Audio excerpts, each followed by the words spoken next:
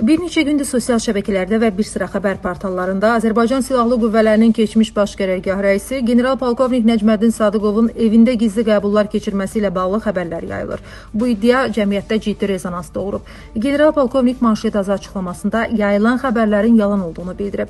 Bu iddialar yalandır, cəfəngiyatdır. Belə xəbərlər hardandır? Sadəcə gülməlidir. Təbii ki, belə şey ola bilməz.